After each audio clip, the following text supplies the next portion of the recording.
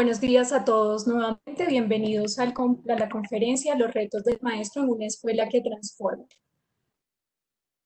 Esta actividad hace parte del ciclo de conferencias online ofrecidas por el Ministerio de Educación Nacional de Colombia, en conjunto con la Dirección de Educación Continua de la Universidad de los Andes y el Centro de Innovación en Tecnología y Educación. Les recordamos que al finalizar la presentación de los panelistas tendremos un espacio para responder sus preguntas, por lo cual los invitamos a compartirlas a través del chat escribiéndole de forma privada y directa al panelista que se llama Preguntas y Respuestas. El día de hoy nos acompaña Dani Torres, directora de calidad de Educación Preescolar, Básica y Media del Ministerio de Educación Nacional. ¿Quién será la moderadora de este evento? Danit, bienvenida. Te pedimos por favor en este momento compartir la presentación para que todos los asistentes puedan ver.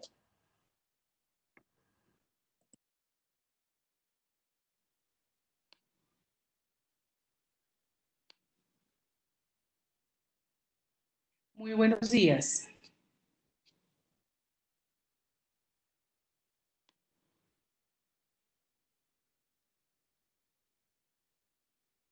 Perfecto. Sí, señora, la escuchamos muy bien. Bueno, muy buenos días a todos y todas. De verdad, para nosotros es un placer contar con ustedes hoy en este eh, webinar que eh, abre una serie de espacios que hemos destinado en el mes de mayo para de verdad reconocer el importante esfuerzo y el rol tan protagónico que juegan los maestros de Colombia. Eh, el día de hoy, el, el, webinar lo hemos denominado los retos de los maestros en una escuela que se transforma y fundamentalmente lo que buscamos es generar una conversación alrededor de los retos que tiene hoy la escuela y eso qué desafíos le genera nuestros maestros y maestras. Eh, nos acompaña eh, en, esta, en este espacio la profesora Frida Díaz Barriga eh, Arceo. Ella es profesora titular de la Facultad de Psicología de la Universidad Nacional Autónoma de México, licenciada en Psicología, maestra en Psicología Educativa y doctora en Pedagogía. Eh, la autora Frida también es miembro del Sistema Nacional de Investigadores de México y ha sido autora de muchos libros y muchos artículos eh, indexados a revistas especializadas. También nos acompaña la profesora Nelson Rocío Soto, ella es docente de educación primaria en la institución educativa Francisco Julián Olaya eh, Rural CDB en la Mesa con Dinamarca. Ella es licenciada en educación básica con énfasis en matemáticas, lengua, castellano y humanidades y ha trabajado en el diseño de estrategias pedagógicas apoyadas en el trabajo colaborativo y por supuesto en el uso de las TIC para promover aprendizaje de las matemáticas. Finalmente nos acompaña el profesor Álvaro Hernán Galvis, él es profesor titular de la Universidad de los Andes. Eh, a propósito, la Universidad de los Andes es un socio muy importante en esta estrategia. Él es investigador y asesor en innovaciones educativas del Centro de Innovación de Tecnología y Educación Conecta-T. Es ingeniero de sistemas y eh, desarrollo de software educativo. Es una, una persona que ha estado eh, permanentemente trabajando y escribiendo alrededor de temas de tecnología y educación. Bienvenidos a todos ustedes. Gracias por aceptar esta invitación del Ministerio de Educación. Antes de dar inicio a esta conversación, queremos dar unas notas muy cortas de en qué se, dónde se enmarca este ejercicio. Nosotros en el Ministerio de Educación, por supuesto, entendemos que las políticas de formación docente y de directivos docentes apoyan el desarrollo profesional de los maestros y por lo tanto está eh, articulada a otra serie de asuntos. Formación continua, por supuesto, porque nos interesa fortalecer la, práctica pedagógica de los maestros y maestras. Allí hay unas metas muy importantes en el plan de desarrollo que me permito resumir y es que 126 mil maestros tengan oportunidades de formación en servicio. Eso incluye la formación que ofrecemos por convocatorias de diplomados, pero también todo el trabajo de acompañamiento situado que hacemos con PTA, el trabajo que hacemos, que estamos trabajando con em, eh, escuelas normales superiores para fortalecer centros de formación e innovación del maestro en 20 centros educativos eh, normales superiores que apoyen a maestros de esa zona. También tenemos formación en investigación en una alianza muy robusta con Colciencias. Pronto vamos a tener la convocatoria para maestros que diseñan recursos educativos digitales, muy al lugar en este, en este escenario Por supuesto, tenemos acciones de formación inicial. Aquí hay una meta fundamental y es fortalecer escuelas normales superiores y procesos de profesionalización de licenciados, de normalistas, perdón, y eh, formación eh, de directivos docentes. A propósito, mañana 20 de mayo lanzamos la Escuela de Liderazgo Directivo para 10.000 directivos docentes. Nosotros entendemos que el directivo docente también tiene un papel fundamental en el desarrollo de una escuela de calidad, en una escuela que se transforma. Y por eso eh, estamos en un trabajo muy importante para lograr que efectivamente apoyemos el fortalecimiento de su liderazgo pedagógico. Y por supuesto la formación avanzada que ustedes han tenido noticias este, esta semana que hicimos el lanzamiento para ofrecer unas oportunidades de formación a directivos y, docentes en eh, fundamentalmente especializaciones, maestrías y doctorados que busquen apoyar la profundización e investigación eh, y, y con ello por supuesto contribuir al desarrollo profesional. Adicionalmente, este escenario en el que estamos hoy se inscribe en la Estrategia Formación Virtual e Innovación para el Aprendizaje. Nosotros a lo largo de todo el año vamos a tener webinars, vamos a tener a disposición de los maestros cursos en plataformas MOOC, vamos a tener el desarrollo de redes de intercambio entre pares y por supuesto un acompañamiento a los maestros para uso de recursos digitales. Todo ello va a estar puesto en la plataforma Contacto Maestro, que la lanzamos a propósito del Día del Maestro. Ustedes van a encontrar aquí abajo el enlace, muy importante que la naveguen, que estén eh, revisando permanentemente qué estamos eh, promoviendo en esa plataforma. Es una plataforma que busca generar posibilidades de contacto, de formación e información de los temas que son importantes y trascendentes. Ya para entrar en materia y darle la palabra a la profesora Frida, solo una información eh, general y es que efectivamente muchas de las cosas que estamos viendo en pantalla le estamos pidiendo que la escuela haga que la escuela sea un escenario para promover el desarrollo integral de los niños y las niñas, que la escuela sea un escenario para promover los aprendizajes que les son significativos a los niños y a las niñas, que la escuela sea el escenario para garantizar trayectorias educativas completas, que la, que, la escuela sea un escenario para la dignificación, para el desarrollo de educación propia, para el desarrollo de educación intercultural, para ayudarnos a cerrar brechas importantes y claramente entendemos que la escuela tiene potencial para hacer todo eso, pero también entendemos que hay unos desafíos. También entendemos que la escuela viene desde más de 200 años configurándose en una forma de ser y de estar, donde la interacción, donde la cercanía es fundamental para el proceso de aprendizaje. Y de repente, y viene la escuela experimentando unos cambios, eh, unos cambios un poco más tranquilos, si se me permite, y de repente aparece una emergencia de este tipo que nos obliga a todos a repensar lo que estábamos haciendo en la escuela, a fortalecer eh, temas que seguramente no, eh, no, estaban tan presentes, eh, a, a, trabajar mucho más fuerte con padres y familias, a tener estrategias más robustas de trabajo colaborativo entre maestros, entre tantos otros asuntos. Y entonces allí surge una pregunta que les, le, pasamos a nuestros conferencistas y es que la invitación es que conversemos sobre esas transformaciones que la escuela tiene hoy y cómo esas transformaciones lentas o aceleradas que viene teniendo la escuela y no solo a propósito del COVID. El COVID acelera algunas cosas, pero la escuela también venía repensándose porque claramente eh, con una mirada comprensiva de los niños y las niñas entendemos que hoy hay que hacer eh, muchos más asuntos eh, alrededor de cómo aprenden los niños y las niñas.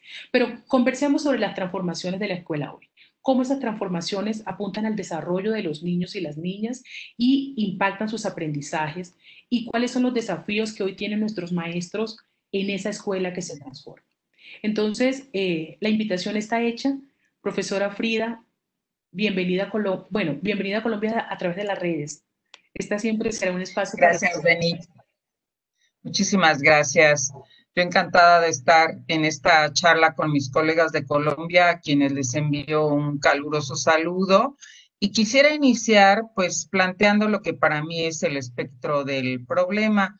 Efectivamente, esta emergencia que plantea el COVID, pero no solo esta emergencia, nos están pues eh, poniendo eh, a discusión todo lo que es el enfoque que hemos planteado en torno a los procesos educativos. Estamos en una nueva ecología del conocimiento, del aprendizaje, de la educación. Esto ya lo sabemos hace por lo menos dos décadas. Tenemos que transformar los procesos educativos y quisiera que más que verlos como problemáticas, los viéramos como esas áreas de oportunidad y esos retos que tenemos que abordar. Eh, lo que está pasando ahorita con la emergencia del COVID nos está haciendo ver varias cosas. Por un lado, que nuestros profesores están formados para la docencia presencial frente a grupo, pero no están formados todavía debidamente, suficientemente para la transición tanto a la educación en la virtualidad como a la educación con múltiples elementos de, de innovación. Creo que este proceso que estamos y un después en la sociedad y en la educación, sí estamos en un punto de inflexión y no solo es replantear la docencia. Creo que tenemos que repensar nuevamente el currículum, la organización de la institución escolar, la manera probablemente tan rígida en que hemos vivido, eh, calendarios escolares, tiempos, espacios, agrupamiento de los chicos, porque el mundo de hoy, que es un mundo incierto, muy cambiante, siempre en tránsito, siempre presentando retos, nos tiene que hacer pensar otra forma de organizar la escuela, pensar la arquitectura del currículum, abrir una diversidad de espacios para la enseñanza, donde conformemos esa integración de los espacios formales, los de educación informal y los espacios virtuales. Tenemos además que formar a nuestros profesores no para la estabilidad, sino precisamente para la complejidad y para tener la capacidad de afrontar estas situaciones inéditas. Pero efectivamente, creo que ya lo anticipabas, Dani, pensando que no es una responsabilidad única del docente en lo individual, sino que esto es una situación de carácter sistémico, institucional y de compromiso social. La siguiente, por favor. Creo también que tenemos que considerar la siguiente lámina, si eres tan amable. ¿Qué nos dicen los estudiantes? Creo que el punto central aquí es que tenemos que centrar esa docencia en la virtualidad, en los alumnos. Ya han surgido, ustedes seguramente también en el contexto colombiano, aquí en México, en España, en varios países, diversos estudios, encuestas en lo inmediato y en nuestro grupo de investigación, una de las colegas, la doctora Adelaida Flores, está haciendo una etnografía virtual donde se está preguntando a los alumnos cómo están viviendo esta educación en casa y en la virtualidad. Y hemos identificado tres grandes núcleos de problemática que nos hablan lo que hay que atender, reitero, como profesores, pero también como sistema educativo. Por un lado, un núcleo importante de estudiantes está reportando no tener las condiciones idóneas de acceso a la tecnología, al equipo de cómputo o al Internet requerido para las labores de educación en casa. Otros alumnos comentan que ha sido un traslado de una educación muy tradicional, una sobrecarga de tareas y de ejercicios a lo largo del día, prácticamente sin mediación de sus profesores. Y otros más que por otro lado me parece que es la demanda más fuerte, al menos en el proyecto que nosotros tenemos, lo que más nos consultan los profesores es estar dándose cuenta del malestar, la situación socioemocional que esta problemática está generando tanto en los estudiantes más pequeños como en los jóvenes universitarios se están encontrando y conforme pasan las semanas de confinamiento, parece que esto se incrementa, situaciones de ansiedad, problemas de sueño, incapacidad para la atención, mucho desgano, falta de motivación para acometer la situación escolar. Siguiente, por favor. Y bueno, estos datos se corroboran si nos damos cuenta de lo que nos dicen los organismos internacionales y las instituciones.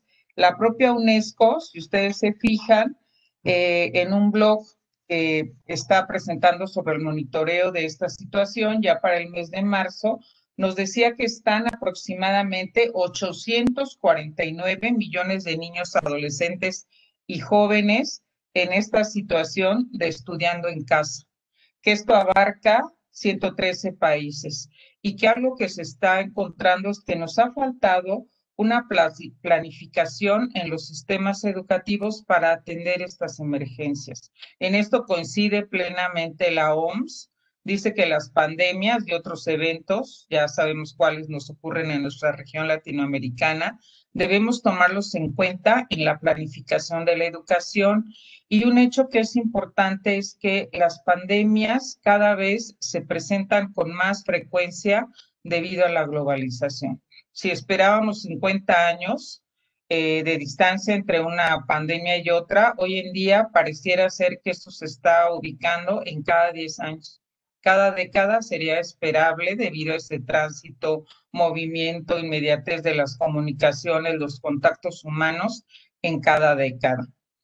Pero podemos encontrar, y ese me parece es el caso de México, pero estoy segura que en buena medida en Colombia, el doctor Álvaro Galvis y una servidora, estuvimos en el 2014 en un proyecto monitoreando la región latinoamericana respecto a cómo se daba eh, el uso de las tecnologías y evidentemente concluimos que el tema de las tecnologías en las sociedades latinoamericanas es una cuestión de equidad y de justicia social. Y esto está apareciendo de nuevo en el tema de educación en casa. Por lo menos nosotros en México, en la encuesta del 2019 que realizó INEGI, encontramos que el 43% de los hogares de nuestro país carece de una debida conexión a Internet. Entonces ya eso nos hace pensar que al menos cuatro de cada diez chicos van a tener problemas para la educación en casa cuando esta implica un tránsito a la virtualidad y encuestas que se están realizando. Aquí solo pongo el dato más grueso de una que se realizó con estudiantes universitarios, se publicó apenas el 30 de abril, indica que el 67.3 alumnos encuestados decían tener alguna problemática para adaptarse a las clases virtuales. Y fíjense que coincidía precisamente con los núcleos de problemática que antes mencionaba los que no tienen el equipo de requerido, los que sienten que las tareas y actividades pues no son las que les generan aprendizaje significativo o sienten que es una sobrecarga, una demanda, o los que están viviendo situaciones socioemocionales que les impiden concentrarse en esas actividades. La siguiente, Dani, si eres tan amable. Considero que los retos de la docencia en casa pues son muchos, pero me parece que coinciden con los retos que tenemos en la docencia presencial. Fíjense que creo que así como esta docencia en casa, en la docencia que tenemos eh, eh, en los espacios de virtualidad, nuestro foco debe ser promover aprendizaje con comprensión, no solo aportar información, dar un sentido a lo que se aprende y a lo que se enseña, Creo que hoy más que nunca tenemos que trabajar desde una mirada de diversidad, no de, estandarización, y en particular eh, detectar cuáles son aquellos estudiantes o grupos en situación de vulnerabilidad ante la emergencia que enfrentamos y pensar en estrategias apropiadas para ellos, porque si no, como resultado de esta situación, todavía vamos a tener una mayor brecha digital que siempre es socioeconómica, pero que también va a ser de carácter cognitivo. Hay que evitar como política institucional la repetición de cursos, el fracaso escolar, el rezago, el abandono de los estudios. Esto tiene que ser una tarea permanente, pero en situaciones de contingencia todavía tiene que hacerlo, que hacerlo aún más. Propiciar, claro, formas efectivas de la enseñanza, aprendizaje en la virtualidad y ahí es donde va a aparecer definitivamente el tema de la formación de nuestros profesores. Y hay una tarea que a mí me parece muy importante, no sé si ustedes lo han abordado en el contexto colombiano, pero nosotros en México estamos viendo que en sectores importantes de la población, pues existen muchos temores, muchos mitos, miradas nada científicas, comportamientos poco éticos o solidarios en torno a lo que está sucediendo.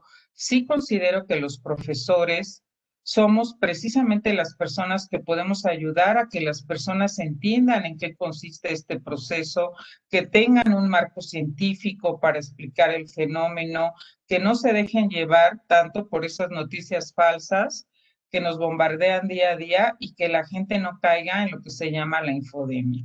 Otro factor que veo importante, también ya están saliendo varios estudios al respecto, algunos de ellos de organismos internacionales, es que las mujeres son un grupo poblacional que puede verse muy afectado o más afectado que otros grupos eh, ante esta pandemia, tanto en su escolaridad como en su seguridad. Ya en algunos contextos se ha identificado pues el incremento de violencia hacia la mujer o la sobrecarga de situaciones en el hogar, cuidado de casa, trabajo escolar, atención de los hijos, las cuidadoras primarias de las personas que enferman, las que a veces también tienen que dar el sustento o apoyar de diversas maneras. Entonces, por favor, pongamos la mirada en nuestros estudiantes de género femenino para ver qué condiciones se están viviendo. Siguiente, por favor. Entonces, si se fijan, este que es un contexto humano, sí nos va a permitir explicar después cuál es nuestra tarea en la virtualidad. De una manera muy cortita, muy resumida, yo recupero aquí cuatro aspectos que no nos pueden faltar en la docencia en la virtualidad. Esto es resultado de múltiples investigaciones que se han hecho desde que inicia la educación en línea y los diversos modelos de docencia eh, en esos espacios de la red. Primero hay que tener presencia docente, ¿verdad? El docente es alguien indispensable. La tecnología no sustituye al profesor. Y ese es uno de los reclamos más importantes que están haciendo los jóvenes. Necesito al profesor, me interesan mucho sus opiniones, su retroalimentación, sus explicaciones, el apoyo, la resolución de mis dudas. Presencia docente, claro, también puede eh, ejercer el compañero. Entonces puede haber también actividades de trabajo de aprendizaje mutuo entre pares. Y presencia docente podemos también plantear en la virtualidad, pues haciendo acopio de muchísimos recursos con voces autorizadas, ¿verdad? Que nos pueden apoyar en nuestra clase para eh, compartir nuestros temas de trabajo. Creo que afortunadamente desde la virtualidad podemos invitar al científico más interesante a compartir alguna de nuestras clases, incluso aquellas personas que ya no estén con presencia física en, eh, nuestro mundo. Es muy importante también que tengamos presencia social. Desde sus inicios en la educación en línea, mucho del abandono y el fracaso se explicó porque las personas no se sentían parte de un grupo los seres humanos somos seres sociales. Los jóvenes y los niños extrañan mucho esa posibilidad de interactuar y de ser parte de un grupo, de compartir conocimientos, ideas, experiencias, vivencias. Entonces pensemos y la virtualidad, la mayoría de las plataformas nos permite precisamente hacerlo, que es importante esa presencia social, tanto en, la en lo académico como precisamente en lo socioemocional. Considero que muchas de estas problemáticas que están afectando a los chicos de carácter emocional, bueno, pues podemos dar algunos apoyos cuando generamos actividades de discusión, de compartición en grupo. Es importante promover y hacer presencia, claro, en el plano de lo que es el aprendizaje y promover tanto la cognición como las emociones positivas asociadas al aprendizaje y la motivación. Y por cognición me refiero, ustedes lo saben, no solo a la repetición de contenidos, a la adquisición y, y copia y reproducción de información, sino realmente pues a esa capacidad para comprender, para aplicar el conocimiento, para discutirlo, para escribir con autenticidad. Eso realmente es lo que activa a los alumnos en la virtualidad, que por otro lado la virtualidad bien aprovechada nos da muchos espacios de práctica, de conocimiento y de procesos creativos. Y bueno, es muy importante que nos hagamos eh, acopio de ayudas y dispositivos pedagógicos que precisamente están al alcance en la virtualidad. Yo quiero ponerles algunos ejemplos. Por favor, si eres tan amable, Dani, la siguiente presentación como una aportación para ustedes. No son los únicos, pero sí son eh, ejemplos que me parecen muy valiosos, muy asequibles en nuestro contexto latinoamericano, muy pertinentes para nuestros proyectos curriculares. Y para mí esa sería tal vez la primera competencia digital que yo formaría en un profesor.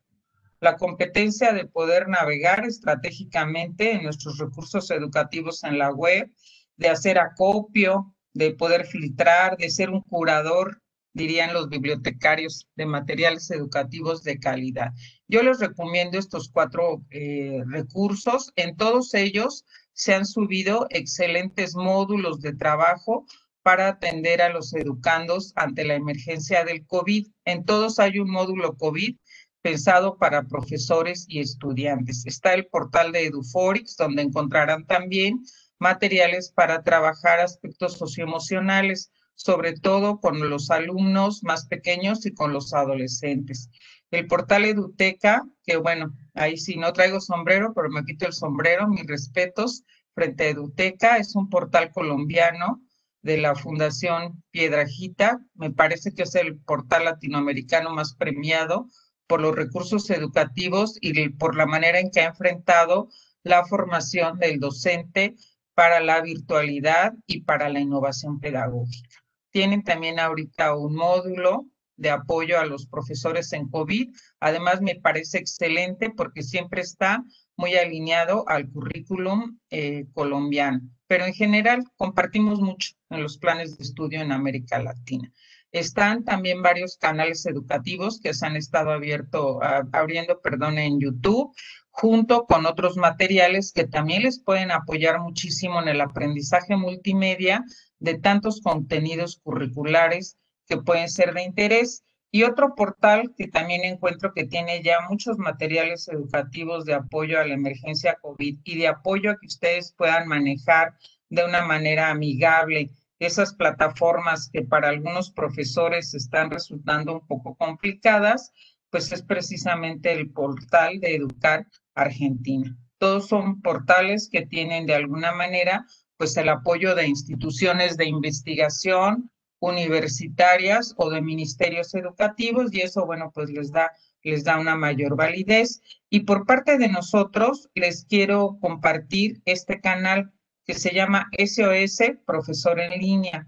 Es un canal que se deriva de otro canal en YouTube elaborado por el maestro Edmundo López Banda. Él es mi tutorado en el doctorado, es un joven sumamente inquieto de esos jóvenes millennials que ya hace tiempo habría, había abierto este canal, el Ineducable, ofreciendo recursos educativos a los profesores, pero ahora lo ha abierto con el interés específico de apoyar a los profesores en función de las dudas, sugerencias que le han estado mandando precisamente en el canal de lo que requieren para afrontar los retos de la docencia en línea. Todos son sitios abiertos, todos son sitios que no les van a pedir a ustedes más que pues que participen, que recuperen lo que les pueda ser de interés y en ninguno de ellos van a encontrar ningún fin lucrativo. Siguiente, por favor. Y bueno, pues también nosotros como proyecto de investigación en la Facultad de Psicología hicimos nuestro módulo COVID, donde hemos subido videos, infografías, eh, carteles, materiales educativos, guías de apoyo, materiales de expertos explicando lo que es el fenómeno y la situación del COVID, también para contrarrestar tantos mitos acerca de este proceso y para apoyar y hacer un reconocimiento tanto al personal de, de salud como a los docentes. Considero que estos son los dos gremios que en esta emergencia pues están, como se dice aquí en mi país, jugándose todo por sacar adelante a la población y yo creo que tenemos que tener ante ellos pues el mayor de los agradecimientos. Nosotros esperamos que estos materiales sean de utilidad para ustedes, que se den el tiempo de consultarlos y bueno, seguramente las presentaciones se pondrán a su disposición para que puedan tener acceso como profesores y apoyarse en esta importante tarea que están realizando. Muchas gracias.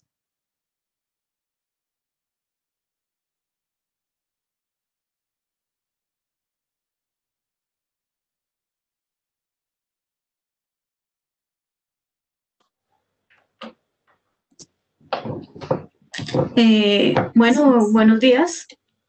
Profesora Nelsi, bienvenida. Gracias. Eh, un gusto de, me complace esta invitación como docente básica primaria de la institución educativa Francisco Julián Ulaya de la Mesa Cundinamarca. Eh, los retos para los maestros, pues, eh, se han ido desde innumerables años atrás, ha ido transformándose. Como docente de primaria, eh, no solamente ahorita se, se transforma, sino se ha venido transformando de una manera muy lenta, muy paulatina. Eh, Podemos pasar la siguiente diapositiva, por favor. Eh, con respecto a, la pregunta, ¿cuáles son las transformaciones más significativas que ha presentado la escuela? Lo tomo desde tres componentes, desde los maestros, padres de familia y entidades gubernamentales, teniendo en cuenta que pues, los maestros eh, muchas veces nos hemos sentido en nuestro, en nuestro sitio de, de confort y que siempre va a ser una, nuestra práctica educativa va a ser, va a ser siempre igual. Y no, por ejemplo, lo que estamos viviendo en este momento es algo que, como decimos, no, no, nos, no esperábamos y nos da miedo, nos quedamos estancados de pronto al momento de modernizarnos y de capacitarnos y pensamos que nuestros procesos pedagógicos, que los procesos pedagógicos de, los niños y, nuestra labor académica pues no se iba a ver estancada.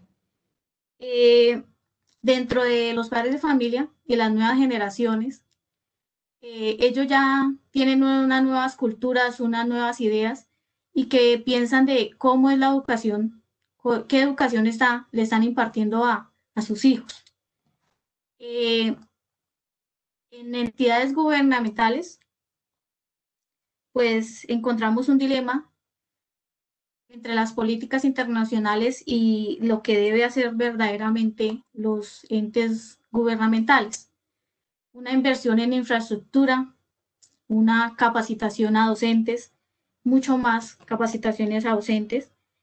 Eh, miran, dejando atrás de pronto esos estándares internacionales, sino mirando verdaderamente una inversión a las necesidades educativas. Eh, Dani, podemos pasar la siguiente. Eh, en cuanto a la pregunta, ¿qué deberíamos estar haciendo para afrontar estos cambios? Principalmente pienso que el cambio radica en los maestros, en, el cambio de mentalidad de nosotros, de la forma de cómo enseñar, de cómo llegarle a, los niños y más en, esta época de, nuevas generaciones. Eh, en los maestros debemos buscar no solamente la forma como nos enseñaron a nosotros antiguamente de una manera tradicionalista, sino entender que son nuevas generaciones, nuevas eh, ya los estudiantes ya les llama la atención eh, las nuevas tecnologías. Ya el docente debe ser un mediador, buscar que sea un mediador entre el conocimiento y, el estudiante. Eh, buscando siempre que esas competencias y esas habilidades que tiene cada estudiante y según su ritmo de aprendizaje, pues va sea, para, toda la, para toda su vida, que le sirva para, para toda su vida. Eh, pero creo que eh, otro, otro componente muy importante de este cambio debe ser las entidades gubernamentales. Mirando, mirando sinceramente, mirando, proyectando y buscando la manera de ver las necesidades educativas de una manera general, de una manera eh, más, más desde las necesidades educativas, especialmente en las escuelas rurales, en las poblaciones con vulnerables. Eh, una mayor inversión en capacitación de docentes sin mirar eh, edad o muchas veces áreas de académicas.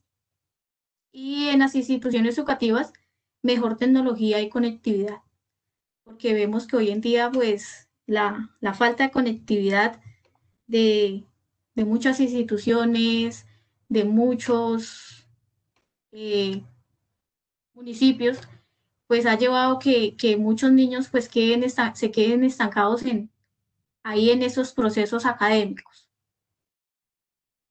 Eh, podemos pasar a la siguiente, Dani.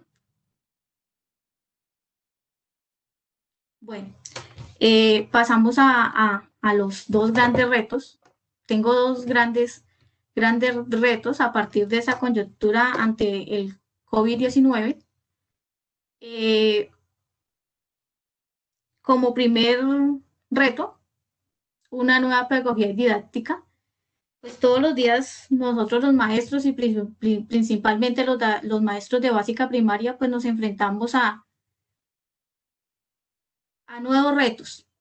Desde el inicio de, desde el inicio de un periodo académico, desde el, desde el inicio de una clase, pues nos enfrentamos a, a diversas situaciones, a un sinnúmero de situaciones que, que, que nos vemos abocados a, a, innovar, a crear, a ser recursivos en el momento, en el momento, y a, y afrontar y a solucionar de manera inmediata la, la situación que se presente y proyectada un, un mejoramiento continuo de nuestros estudiantes.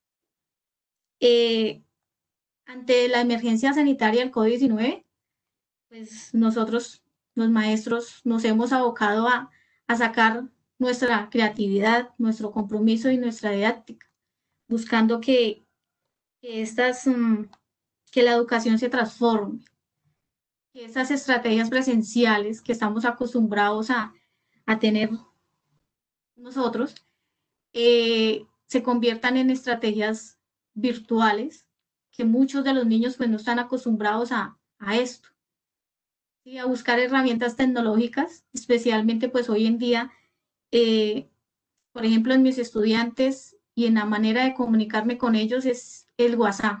No más, no he podido con otra herramienta sino el, WhatsApp porque para muchos eh, la compra de, de datos, la compra de, muchas de conectividad, pues no, no tienen facilidad estas. Eh, el reto de, en este momento, durante la pandemia del COVID-19, es un cambio de rol. Porque un cambio de rol es, en este momento, pues la mayoría de maestros nos hemos convertido en administradores tecnológicos, diciéndolo así, porque nosotros no estamos acostumbrados a, a, programar, a recibir información, a retroalimentar procesos, ¿sí? Y nos ha, nos ha correspondido esta, esta gran tarea eh, en, en, el proceso de enseñanza-aprendizaje. ¿sí? Cambiamos una clase magistral, eh, cambiamos un marcador, una dinámica en clase, eh, por un ok, profe, en el WhatsApp por una carita feliz o simplemente un mensaje de texto, eh, asumiendo que pues la mayoría de estudiantes o la mayoría de, ellos eh, darle ese voto de confianza de que sí entendieron, pero esperando, a la esperando al próximo encuentro que me digan, eh, profe, no entendí, o de pronto en los diferentes trabajos que me envíen o que me lleguen, eh, ya sea físico o por vía correo o vía WhatsApp, eh, encuentre muchos, muchos errores. Eh,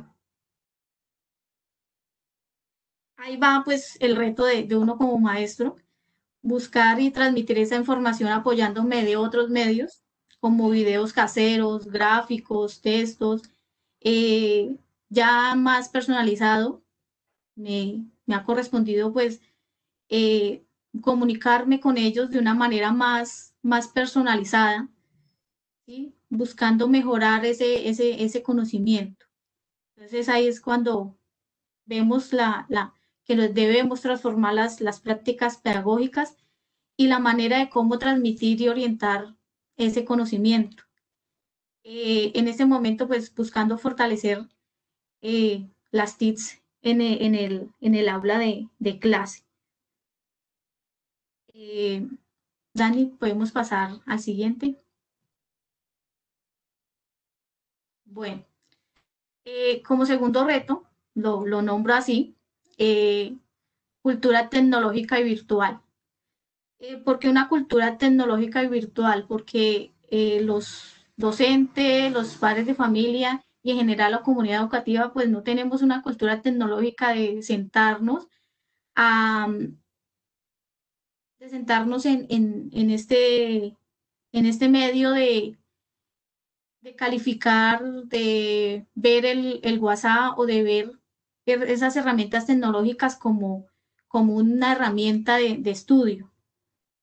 Eh, en nuestra institución se están utilizando guías de aprendizaje, guías de, de refuerzo, pero me he comunicado con muchos padres de familia y lo que ellos manifiestan es la falta de recursos tecnológicos y económicos. Muchos en su casa no tienen conectividad, no tienen datos, no tienen computador, no tienen tablet. Entonces, ahí va la desmotivación de muchos estudiantes, de muchos padres de familia, en cuanto si hay para una recarga, no hay para, para la alimentación. Eh, la mayoría de instituciones, pues hoy en día, pues estamos con el préstamo de, de tablet, de elementos de, estudio de herramientas tecnológicas para, para muchos de los niños. Pero muchas instituciones no cuentan con esos recursos tecnológicos para hacer eh, la entrega de esas tablets. ¿sí? Si hay, dígase, 1.500 estudiantes en una institución y hay 200 tablets, eh, solamente se benefician esos 200 estudiantes. Pues mirando, en el, en el colegio se miró la manera de, que los estudiantes con más eh, vulnerabilidad en este caso, eh, se les prestara la, la, tablet, pero quisiera pues que se le prestara a, a, muchos, a muchos más estudiantes. En este momento, pues vemos que hay una brecha tecnológica bastante grande entre la población que, que tiene la facilidad de, herramienta por la que tiene vulnerabilidad eh, en este caso. Eh, un reto muy importante es eh, que las que cuando ya de pronto ya pase todo esto, eh, buscar que mis estudiantes, mis padres de familia y demás compañeros tengan esa cultura tecnológica del uso de, herramientas tecnológicas y que sus diferentes clases eh, sean mucho más didácticas y mucho más eh, utilizando herramientas tecnológicas. Llamarle la atención a esos niños que de pronto hacen uso de esa tecnología, no, no hacen buen uso de esa tecnología si no la utilizan es para chatear o para otros eh, fines, eh, sin buscar la verdadera importancia de, utilizar esta, esta, herramienta. Y pues buscar una transformación continua en, mis estrategias, en mis estrategias pedagógicas. Eh, quiero finalizar, por último, que un gran alto porcentaje de, de los docentes de básica primaria y, demás áreas, tenemos un gran compromiso y una responsabilidad por que nuestros estudiantes desde las casas sigan motivándose, sigan aprendiendo y adquiriéndose ese conocimiento, porque pues eh, muchos papitos han manifestado, profe, ¿qué va a pasar? Profe, eh, yo voy a retirar a mi hijo porque ya no me siento capaz de, de, de, motivarlo más y de, y de darle de pronto ese apoyo de sentarme con él y más un niño de primaria. Entonces es buscar esa motivación y pues nosotros los maestros tenemos gran compromiso y gran responsabilidad en, en, este, en esta situación. Muchas gracias.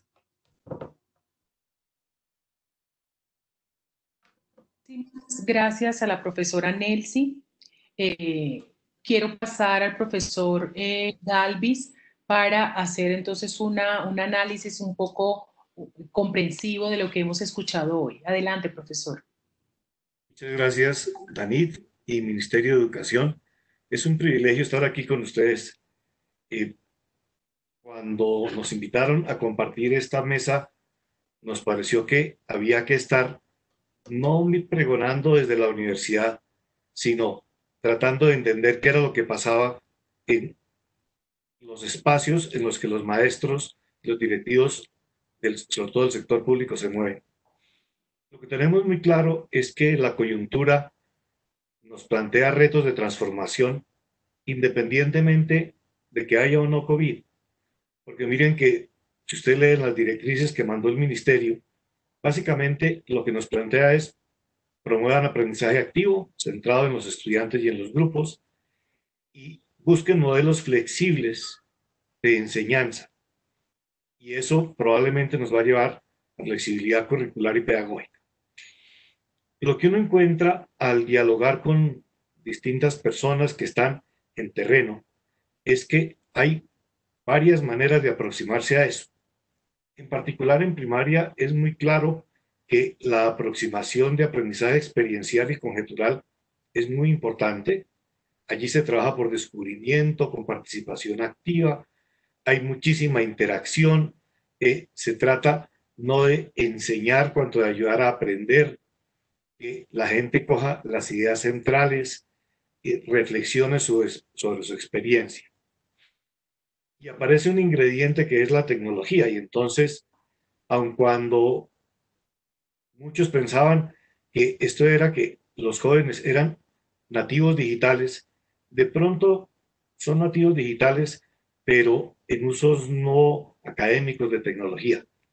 Y entonces, lo que decían mis dos colegas anteriormente, pues lo estamos asumiendo desde un punto de partida que no necesariamente es el de, dado que son así, usemos la tecnología resulta que hay una serie de retos alrededor de usarla que aún en la presencialidad comienzan a ser complicados. La sala informática que no está disponible, sino cuando el encargado de la sala la presta, los profesores que tienen limitados recursos digitales para interactuar con sus estudiantes, etc. Lo que también encuentra uno es que hay una variedad de esfuerzos donde esa pedagogía activa está muy ligada, por ejemplo, al uso de clase invertida. Y se espera que los estudiantes hagan una serie de cosas antes de venir al aula de clase. En el aula interactúen y, y, complementen, que compartan y que después reflexionen. Y entonces ustedes ven que ese ciclo de aprendizaje experiencial, entendido de esa manera, comienza a ser importante. Y los medios digitales a los que hacía referencia Frida, si uno, independiente de que tenga o no conexión a Internet, baja los que le sirven y los tiene a disposición, yo creo que comienzan a jugar un rol muy importante. Y por otro lado, el aprender en red, aprender con los colegas, es lo que nos permite aprender de buenas prácticas. Y esas buenas prácticas definitivamente están ayudando a que la escuela antes, durante y muy probablemente después eh, prospere. Me das la siguiente. Cuando aparece el COVID, yo diría que no nos pasamos a educación virtual, nos pasamos a educación remota. Y entonces hay retos como los ya mencionados de acceso a Internet. De pronto de un día para otro pasamos a estudiar y trabajar desde casa en forma continuada y entonces tenemos que compartir no solamente los espacios, sino también la tecnología eh, con toda la comunidad familiar. Hay que cuidar la salud, el bienestar, la disminución de oportunidades de trabajo, de ingresos familiares. Puede haber inseguridad alimentaria. Pero desde la perspectiva académica nos damos cuenta que hay puede haber una colisión de paradigmas. El profesor que estaba acostumbrado a estar en el centro del proceso y a usar TLT, tiza lengua y tablero, de pronto cuando no está ahí, sino que tiene que lidiar con que sus alumnos están distribuidos, pues miren que ese paradigma se rompe y entonces nos toca encontrar el chinograma, como por ejemplo el que no tiene internet manda con un motociclista, un chino, las guías a que las distribuya en las familias de los eh, estudiantes y a que traigan los trabajos. O nos toca recurrir al WhatsApp para que a través de un dispositivo que casi todo el mundo tiene acceso, uno pueda resolver preguntas y mandar pequeños videoclips y hacer pequeñas interacciones. Pero en paralelo nos damos cuenta que a los profesores esto no, no, no, les creció silvestre. Entonces toca darle soporte a la migración, a la enseñanza remota. Siguiente. Encontré este, este gráfico y este título en un artículo muy interesante del año 2012, que hacer esto era como construir un, aeroplano cuando lo estábamos volando. Así no está pasando en el durante. No estamos teniendo que descubrir cómo es que hacemos para volar, para hacer todas aquellas cosas a las que nos llamaron la atención tanto Fría como Nelsi. Y resulta que estamos echando a pique se aprende, es una, es una manera, pero aprendiendo de la experiencia y reflexionando sobre ella también. Entonces, como que la coyuntura no solamente es una ocasión de ver qué hacemos con lo que se nos ocurre, sino de participar en comunidades de práctica, de interactuar con otros, de hablar con nuestros colegas, hablar con los padres de familia, hablar con los estudiantes y tratar de ver cómo lo resolvemos. La siguiente. Entonces miren que aquí tenemos un aeroplano distinto. Es un aeroplano donde, si bien ya teníamos una modalidad con la cual nos sentíamos cómodos, la presencial, pues resulta que la formación continuada de los docentes, como lo que estamos haciendo hoy, es virtual. Y muy probablemente cuando sean un poquito las eh, condiciones, llamémoslas de rigor, eh, vamos a tener que entrarle al blended. Y en cualquiera de esos casos vamos a tener que entrar a hacer realidad lo que independiente de la modalidad se nos plantea como una condición deseable. Tener aprendizaje activo, tener flexibilidad curricular y pedagógica que ya venía desde la presencialidad, pero todo eso apoyado con tecnologías digitales. Y entonces las tecnologías digitales se convierten en un facilitador o en un obstáculo dependiendo de cómo uno las quiera ver. Las reflexiones de mis colegas me hacen pensar que la tecnología de verdad, de verdad, es una condición necesaria, pero no suficiente.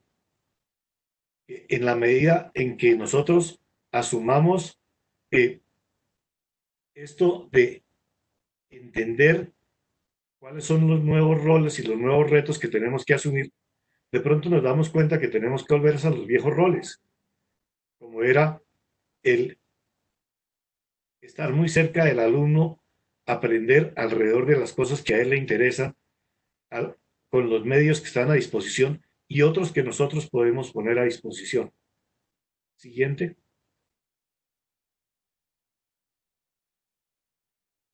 Y entonces, cuando me piden ver cómo, cómo asumir esto, estos retos durante o después de la coyuntura, a mí hay dos ideas centrales que me surgen.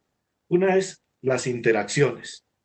Y mire que las interacciones son a todos los niveles. Por un lado, usted en su casa, si tiene que trabajar ahí y lidiar con sus hijos, con su mujer, con las personas con las que convive, pues ese núcleo tiene que ser saludable. Y si la tecnología toca turnársela, pues igual nos toca hacer con la limpieza, nos toca ayudar a mantener la casa limpia, y lo mismo de pronto con otros deberes que tenemos ahí. Pero hay ciertos que no son delegables, como esto de mantener un diálogo con nuestros estudiantes los padres de familia. Y ahí es donde la tecnología puede ser muy importante. Si logramos encontrar que nuestros profesores tienen acceso a las tecnologías que pueden usar los padres y los estudiantes, estupendo. Pero si no, yo diría que los dos ejemplos que mencioné no son ciencia ficción. Me lo contó una profesora que no teniendo autorización de su médico para salir de su casa por problemas de condición de salud, el alcalde le prestó un mensajero para que le lleve y le traiga las cosas que sus estudiantes que no tienen internet eh, puedan recibir. Y ella, a través de copias que se las mediatiza la alcaldía y de llevar y traer papeles, está haciendo una magnífica interacción. Pero como sí tienen WhatsApp, pues puede grabar unas pequeñas demostraciones, puede hacer cosas interesantes como esas.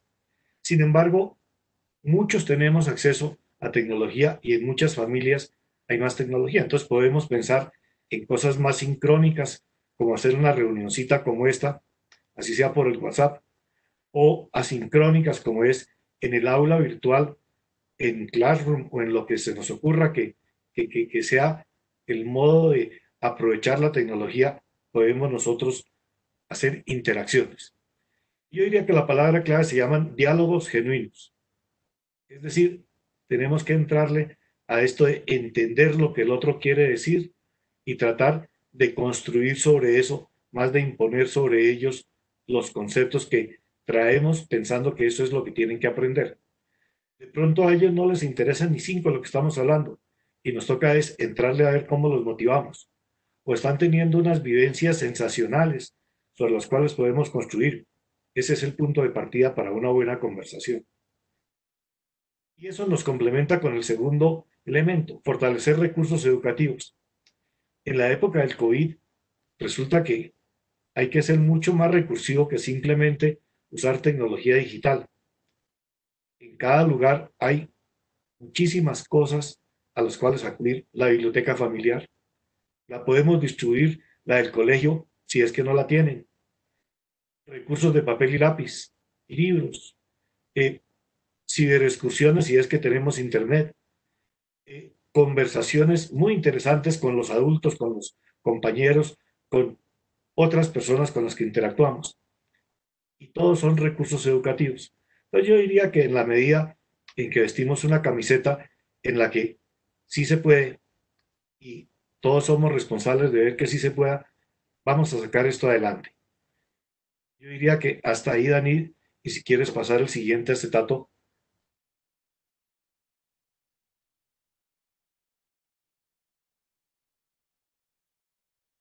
Esto es, en caso de que ustedes quieran eh, contactarme o revisar algo de lo que hacemos desde los Andes, eh, con mucho gusto. Ya estoy en Conectate.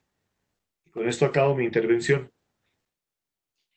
Bueno, muchísimas gracias a Frida, a Nelsi y a Álvaro. Yo eh, me sentí muy identificada con muchas de las cosas que se dijeron acá, solo para hacer eh, como un resumen, lo cual es muy difícil eh, condensar tantas, tantas buenas ideas. Lo primero que habría que rescatar de, las, de, de todo el escenario de lo que hemos conversado hoy es que la propuesta que nos están haciendo es que pensemos que las transformaciones de la escuela no necesariamente están dadas solamente por la emergencia del COVID, que desde hace rato la escuela viene siendo retada a transformarse para algo que Álvaro nos decía y es a aprender con sus estudiantes. Eh, rescato un poco lo que nos decía la profesora Frida y es que la tecnología no reemplaza al maestro. Y creo que eso es súper interesante en la idea de entender que el reto que hoy tenemos es pedagógico. La tecnología sirve, pero el reto es pedagógico. El reto es cómo de verdad eh, concentrarnos en todo este ejercicio de entender qué es lo realmente significativo para que los estudiantes aprendan, cómo fortalecemos la relación y la interacción con las familias, eh, hay unas alertas que nos hace la profe Frida y yo las quiero resaltar aquí que son muy importantes y es que uno de los efectos de esta emergencia es que se amplíen las brechas entre los niños y las niñas. Y creo que hay que hacer, nos invita la profesora a hacer un foco muy importante en temas de rezago escolar, de fracaso escolar y de deserción. Creo que es el momento de revisar como maestro, como escuela, cómo generamos, cómo adaptamos, cómo fortalecemos nuestro sistema institucional de evaluación para que no se convierta en un elemento que, que profundice la brecha y genere mayores riesgos y dificultades para los niños y niñas que más dificultades tienen. El foco entonces allí que nos invita la profesora es a entender la diversidad y cómo la escuela se mueve en esa diversidad. La profesora Nelsi nos muestra un conjunto de alternativas que han venido construyendo, que han venido desarrollando en su escuela. Invita a que esta emergencia y esta transición eh, promueva un cambio de comprensión de los profesores en relación a su rol, a sus retos y a sus posibilidades y eh, da, cuenta que lo importante también es revisar los estilos y ritmos de aprendizaje de los niños y las niñas y que nos concentremos en aprendizajes significativos para la vida. Ah, eh, finalmente, el profesor Galvis nos, nos, nos, invita a que eh, retomemos la idea que los chicos aprenden por descubrimiento y que incluso hoy en estas circunstancias hay formas de seguir avanzando allí que los maestros tenemos una responsabilidad maravillosa y una oportunidad maravillosa de aprender entre pares. Hoy eh, no, eh, no es tan fácil hacer este encuentro en la presencialidad sin tener que invertir muchos recursos, mucho tiempo, mucho, mucho esfuerzo. Y hoy estamos aquí reunidos más de 700 maestros y maestras aprendiendo juntos. Entonces esa invitación la rescato. Rescato la posibilidad también de entender una ecuación y es aprendizaje activo mediaciones, recursos y mediaciones y por supuesto flexibilización curricular. Y al final, eh, eh, con lo que empecé y es la, la invitación que nos hace la emergencia a retomar la interacción genuina con los padres y con los niños y las niñas. Esa posibilidad de conversar cómo te fue, cómo estás. En el chat había preguntas por lo socioemocional, cómo te has sentido, eh, en qué más podemos contribuir, creo que eso es súper importante, pero también una renovada relación con la familia, que ya no media solamente por eh, le entrego el reporte o venga al comité de convivencia que hay una queja, sino cómo juntos construimos posibilidades para que los niños y las niñas aprendan en esta coyuntura que nos tocó vivir y que es histórico y creo que eh, es una oportunidad para repensarse. Entonces, muchísimas gracias. Creo que eh, aquí hay unas preguntas en nuestro, en nuestro chat que podemos ir, revisando. La profesora, em, la profesora Frida ha contestado algunas. los profesores que tengan eh, preguntas que no las hayan mandado a PIR, por favor lo hacen. Nosotros estaremos muy atentos también de poder responder estas preguntas si no se alcanza hoy eh, más adelante. Recordarles que esta, esta webinar va a quedar siempre permanente contacto maestro para que lo podamos revivir. Pero si me permiten, eh, preguntas que nos eh, cuentan y nos vienen en el chat tienen una que ver con cómo nosotros podemos avanzar en el apoyo socioemocional de los niños y las niñas en esta emergencia, qué rol puede jugar la escuela allí.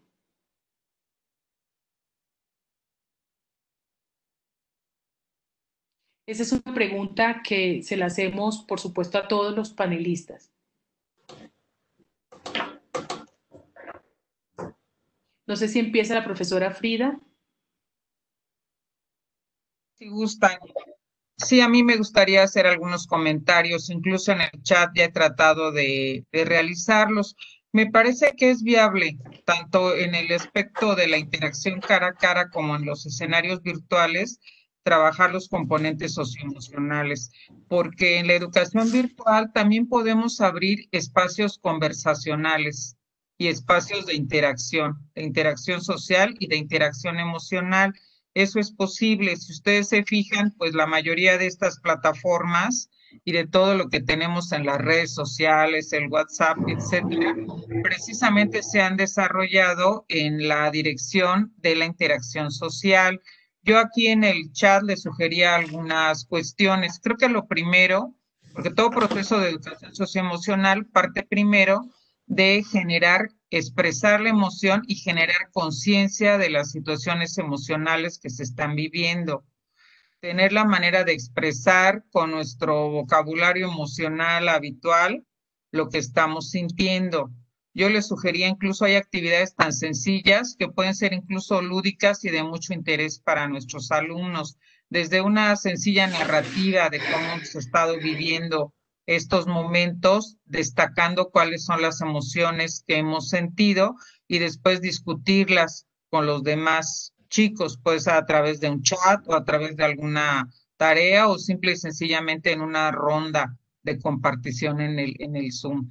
Podemos hacer también trabajos que, sean creativos y ponerlos en una puesta en común y discutirlos. A mí me gusta mucho trabajar con los estudiantes y miren que he visto que esto funciona tanto con los más pequeños como incluso con alumnos de la universidad, pidiéndoles que hagan una nube de emociones. Pueden entrar a esas aplicaciones muy sencillas, libres en la web, que funcionan como redes semánticas. Yo hablo de un concepto escribo 10 conceptos más y puedo elegir una imagen y eso se representa, como el que tú nos ponías Nelsi al principio de la presentación, ¿verdad? Que hablaba de las situaciones que estamos viviendo. Lo podemos orientar pidiendo que expresen las emociones que están viviendo ante la educación en casa, ante el COVID, ante lo que vive su familia, etcétera. Y ese núcleo de, puede ser un núcleo de discusión de cuáles son las emociones que tenemos. Un segundo momento nos tiene que llevar a, entender cómo esas emociones siempre están vinculadas, no solo son, o sí son, pero no solo son una cuestión intrapersonal, sino también son una cuestión social. Y esa es otra discusión muy interesante. Son emociones que yo tengo, pero también están en función de los demás y cómo puedo resolverlas, mejorarlas, dirigirlas. Si tengo muchas situaciones de ira, de enojo, de resentimiento, cómo manejarlas y no dañar a los otros. Si me siento deprimido, aislado, bueno, de qué manera en la red o tejido social de mi familia, de mis compañeros, lo puedo trabajar, ¿verdad?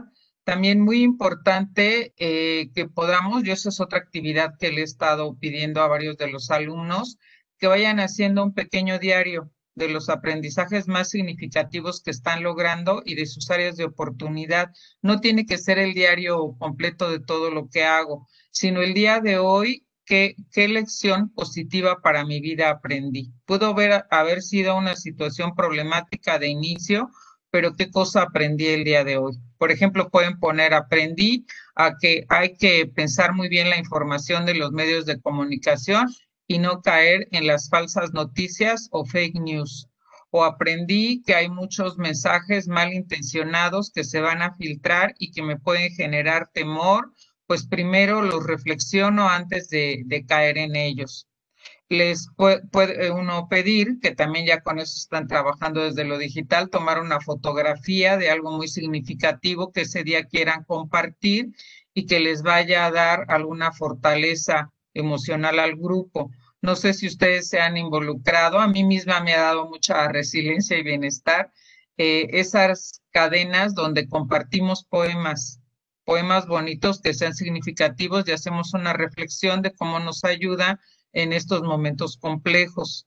Y además nos permite pues adentrarnos en la poesía, a mí me encanta la poesía latinoamericana o la poesía de los clásicos o de quien ustedes gusten y esa red se va compartiendo con la intención de generar bienestar y podemos decir qué emoción, qué emoción nos generó. Entonces hay muchas actividades para esa conciencia de las emociones, para manejo de un vocabulario emocional y una comprensión de lo que sentimos y también podemos hacer el trabajo pues con eh, nuestras emociones para generar situaciones de resiliencia.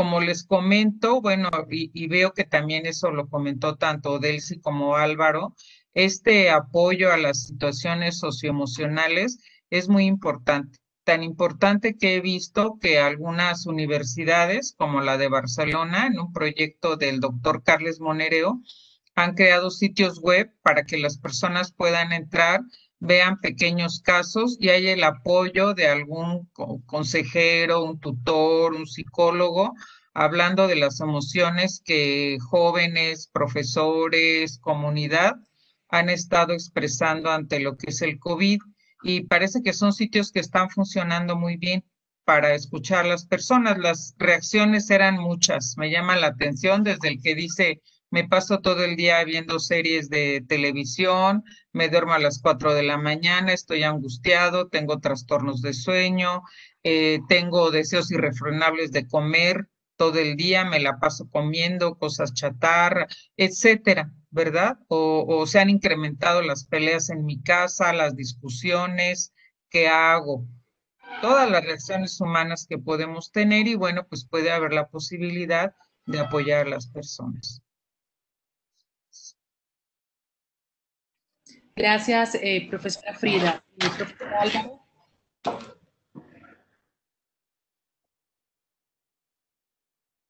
Después de oír la respuesta de Frida, yo diría que poco tengo que agregar en ese terreno, pero sí podría agregar en el terreno de algo que mencioné, que es el de las conversaciones genuinas. Yo he encontrado que muchas veces uno como papá o como maestro asume un rol de yo lo sé y tú apréndelo. Y resulta que cuando estamos en esto, eh, parte de las tensiones que tenemos que superar tienen que ver con aprendamos en compañía, trabajemos en redes de aprendizaje. Aquí tenemos mucho para aprender todos, aprendámoslo. Entonces, cuando yo rompo el hielo y mis estudiantes ya no me llaman doctor Galvi, sino Álvaro, y cuando yo comienzo a encontrar espacios por un lado privados para aquellas cosas que lo ameriten, por otro lado de pequeños grupos, por otro lado eh, de grandes grupos para interacción con mis estudiantes, es muy probable que estos diálogos genuinos prosperen. En la medida en que yo logre que la gente se sienta cómoda y cómoda se siente porque de verdad están siendo oídos y porque pueden decir y uno construye sobre eso y al contrario, uno los consulta cuando eh, siente que necesita de alguien que le diga, ¿qué vaina? No logro entrar a este chat, ¿quién me ayuda? Pues es genial que la gente vea que uno también tiene ese tipo de problemas. Entonces, mi granito de arena va por ahí.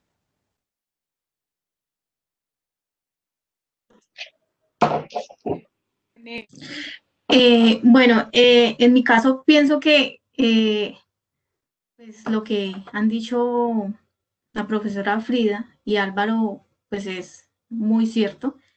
Eh, el solo hecho de, llamar a, me ha correspondido llamar telefónicamente a muchos padres de familia, a muchos niños, de saber de cómo están y que ellos manifiesten, profe, ayúdeme porque mi hijo no me, no, no es autónomo, no, no me hace, no me hace caso es buscar las verdaderas palabras o las palabras de cómo llegarle a un padre de familia y a un niño en este momento. Es buscar eh, mediante frases, videos. Eh, yo he acostumbrado, estoy acostumbrada todos los días de pronto a hacer un videito donde los niños me vean y, con una frase de, motivación, eh, ellos sigan su día y siempre motivándolos a que tienen que, seguir adelante y que algún día nos, nos veremos y que iniciamos y vamos a hacer lo mismo que hacíamos antes. Eh, pues también es difícil de pronto ver a papitos de pronto de mal genio, decir, a mi niño se la pasa mirando los videos de la profe y me gasta los, los datos. Pero pues al igual como se le, digo a muchos papitos, eh, eso es una motivación para ellos y, es algo que, toca de pronto dejarlos y que, sigan, que sigan en, esas. Entonces, eh, esa motivación va desde, uno, desde, desde uno de maestro en, en saberle llegar a los padres de familia, de saberle llegar a los niños con palabras motivadoras.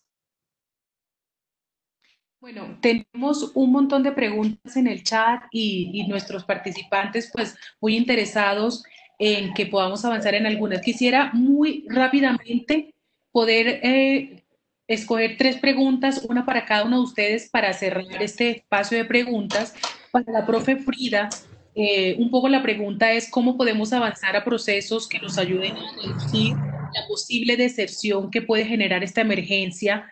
Eh, esa es una, una pregunta para la profe Frida.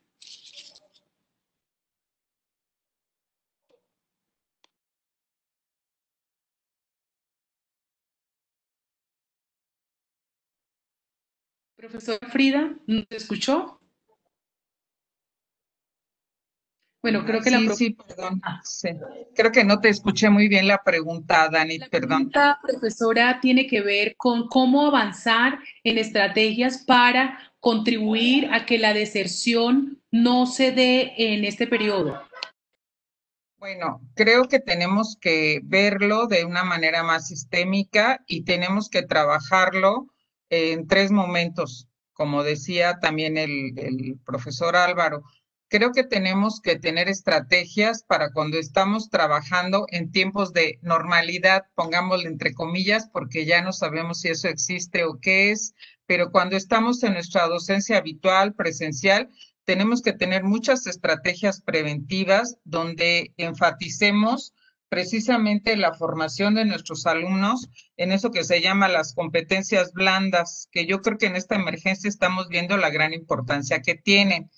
Eh, las capacidades de autoestudio de nuestros estudiantes, eh, los apoyos pedagógicos que les damos a los alumnos que vemos con situaciones de, reprobación, rezago escolar o que no tienen las mejores habilidades para el estudio, eh, la posibilidad de los apoyos sociales o emocionales a los alumnos que veamos con pues poca motivación para trabajo, con problemas de autoestima, que tienen alguna cuestión de dificultad de relación en el contexto del grupo. Entonces, creo que tiene que haber un fuerte trabajo que sea formativo y preventivo cuando estamos en esta situación.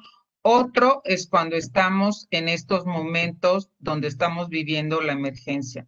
Me gustó muchísimo el ejemplo donde podemos hacer una adaptación y ser lo suficientemente flexibles para en función de esa diversidad saber qué tipo de materiales de apoyos tenemos que darle a los distintos estudiantes, ¿verdad? Yo pienso que tenemos que identificar, ya lo había dicho, cuáles son nuestros alumnos con más factor de riesgo y probablemente con ellos intensificar pues esas guías pedagógicas que les vamos a dar, esa posibilidad, me encantó, se me hizo una estrategia muy, además de muy solidaria, muy, muy interesante que decía Delcy, llamar por teléfono a las personas o hacer una conversación, pues por el medio que podamos eh, con los chicos, con los papás, para poder impulsar y saber cuáles son los problemas que están enfrentando o poder darles las explicaciones debidas. Si son personas que sí tienen acceso a la tecnología, me pareció genial esa idea de hacer pequeños videos donde estamos haciendo explicaciones particulares o especiales para estos eh, estudiantes y el ofrecerles pues suplementos, apoyos adicionales para la resolución de sus actividades o de sus tareas. Entonces, pues hacer esos ajustes de ayudas pedagógicas. A mí me preocupan, aparte de hablar de las chicas, de las mujeres, de las jovencitas y niñas, eh, la población en situación de discapacidad porque hemos luchado mucho estas últimas décadas por lograr una escuela inclusiva y tenemos muchos niños y jóvenes con discapacidad visual, auditiva, intelectual, incluso eh, socioemocional o, o, de carácter eh, mental, incluidos en las instituciones escolares. No he visto ninguna política específica apoyando a estos jóvenes a nivel eh, más sistémico. Sí las he visto, muchas muy afortunadas, a nivel más de grupos pequeños, de colectivos de profesores, de algunas redes de apoyo. Siento que ese es otro grupo al que tenemos que darle, pues también esas ayudas pedagógicas que ellos van a requerir para el confinamiento en casa, porque muchos de ellos tienen los apoyos que requieren en la escuela, pero salen de la escuela y entonces vuelven a un contexto de hogar donde no tienen ninguna posibilidad y lo más probable pues es que ellos también estén en un fuerte riesgo de abandonar la escuela. Existen también, yo les recuerdo siempre que existen también portales educativos que se han generado precisamente para apoyar a las personas en condición de discapacidad y manejan dos estrategias lo que se llama lectura fácil, que es la adaptación de los textos, o les enseñan a ustedes cómo adaptar los textos académicos para una mejor comprensión, y tienen otra estrategia que se llama diseño universal para el aprendizaje, que también nos aportan estrategias para, en función de la discapacidad, cómo hacer algunas ayudas a personas que tengan otros tipos de discapacidad. Entonces, me parece que esos son recursos muy importantes. En nuestro grupo hemos generado algunos de esos materiales porque tenemos jóvenes con discapacidad intelectual en un programa de, inclusión y no los hemos querido dejar solos de ninguna manera. Con ellos está desarrollando un programa que se llama Ocio Humanista y Viernes de Comunidad y a través de música, arte, este, visitas interactivas a museos, a lugares de interés, se están dando actividades educativas con ellos para que no pierdan tanto la experiencia de la escolaridad como para que no pierdan la posibilidad pues de estar en contacto y de que estemos monitoreando cuál es su, su situación social y personal. Otro apoyo pues tiene que ser los padres de familia bueno, aquí veo que muchos en el chat dicen los padres de familia casi no entienden los materiales enviados por las instituciones de los ministerios o las secretarías de educación. Ahí también hay otra área muy importante en la que los educadores pues podemos hacer una mediación mucho más sensible con el conocimiento que tenemos de papás.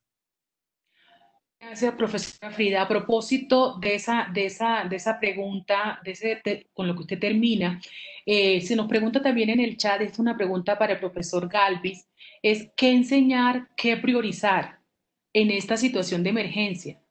¿Qué sería lo más interesante que un maestro debería priorizar, no solamente para diseñar esas guías de las que no habla la profesora Frida, que sean comprensibles, sino también entendiendo que es, mucho de esto ocurre en casa y el nivel educativo de alguno de nuestros padres, pues seguramente no es suficiente para poder ofrecer un apoyo robusto, eh, dependiendo de lo que estemos nosotros promoviendo eh, en aprendizaje. Entonces, la pregunta es para usted, profesor Galvis. ¿Qué enseñar, qué priorizar?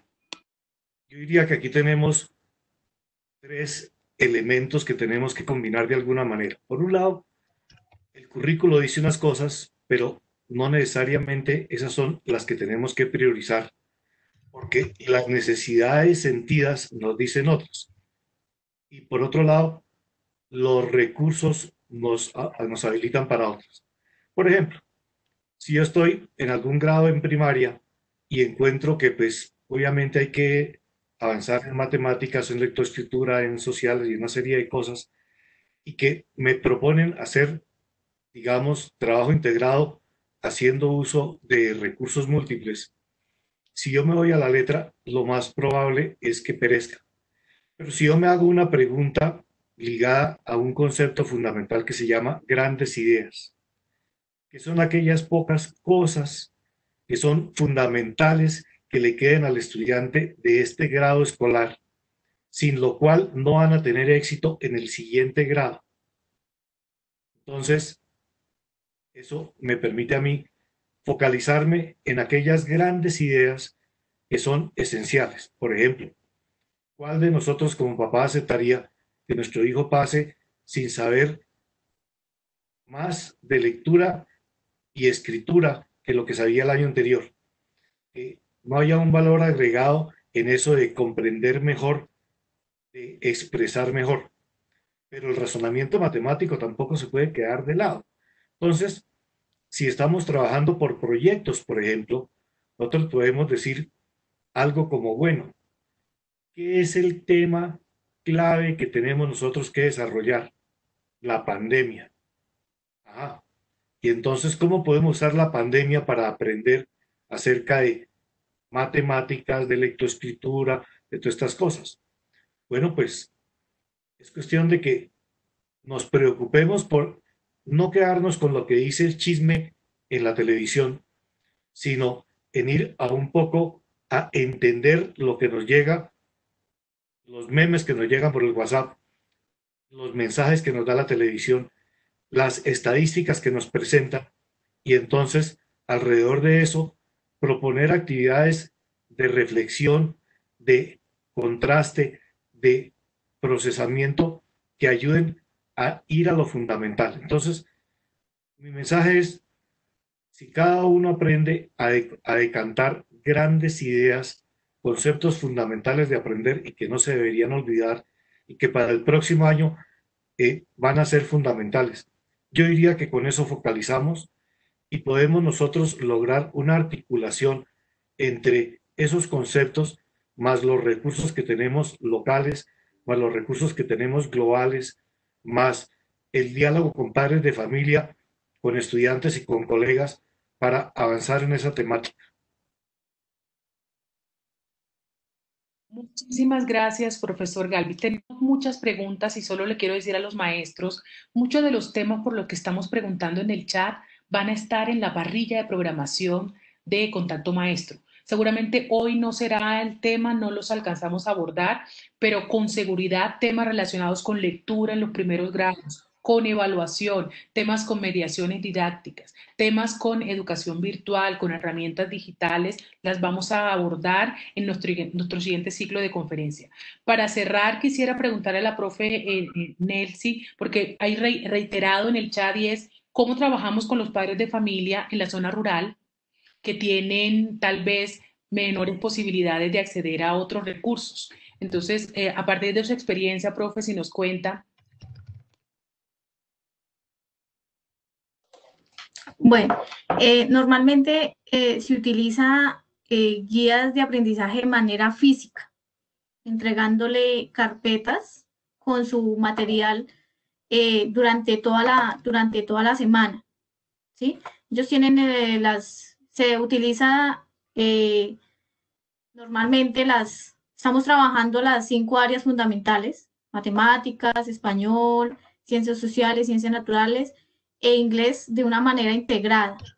Entonces, ellos reciben la carpeta o muchas veces se les lleva la carpeta a, la, a la casa, ya que pues hay casas cercanas, y eh, los niños o los padres de familia lo, se les hacen llegar a los, a los padres de familia, al docente, perdón, eh, a, los, a los ocho días. Eh, al momento de utilizar WhatsApp, pues nos corresponde es, si el padre de familia se va a trabajar durante el día, hacer una videollamada o hacer una clase en horas de, la tarde, 5 o 6 de la tarde, donde podamos eh, encontrarnos con, el estudiante de una manera más personalizada. Es más que todo la, dinámica que, que se está trabajando. Bueno, Profe Nelson, mil gracias por su intervención. Eh, nos quedamos con unas preguntas aquí, las vamos a ir respondiendo en la medida en que eh, eh, circule. Quiero que sepan que esta información va a estar siempre en contacto maestro. Yo le doy paso, por supuesto, a, a la profe Estela para que nos cuente un poco más qué viene. Este ha sido un primer escenario en el que esperamos contar todas las semanas con información de interés para ustedes y ella entonces nos va a contar un poco de qué trata. Muchísimas gracias, Dani, por la presentación, a todos los conferencistas por su intervención muy valiosa para, para los asistentes. Gracias a los asistentes por enviar todas estas preguntas. Como, como Dani estaba comentando, las van a ir respondiendo en el transcurso de, de, los, de las conferencias que tenemos programadas. Bueno, queremos contarles que a través del chat les vamos a compartir varios enlaces. El primer enlace es una encuesta que les pedimos diligenciar para poder saber cómo fue su experiencia en esta actividad. También les vamos a compartir el enlace de la página de Contacto Maestro, que es la página del Ministerio de Educación Nacional, en la que van a poder encontrar diferentes contenidos desarrollados especialmente para ustedes. Por último, les vamos a compartir un enlace que es el enlace en el que van a poder conocer otras conferencias como esta que tenemos programadas en conjunto con el Ministerio de Educación Nacional, el Centro de Innovación en Tecnología y Educación de la Universidad de los Andes y la Dirección de Educación Continua. Queremos muy especialmente invitarlos este jueves a las 9 y 30 de la mañana. Continuaremos con este ciclo de conferencias. Tendremos una sobre oralidad, letras y representaciones. A las 9 y 30, jueves 12 de mayo, los esperamos allí Y bueno, nuevamente agradecerles a todos por su participación, a los panelistas por su valiosa intervención. Esperamos que este espacio haya sido provechoso para todos ustedes y nos vemos en la próxima actividad. Muchas gracias a todos nuevamente por participar.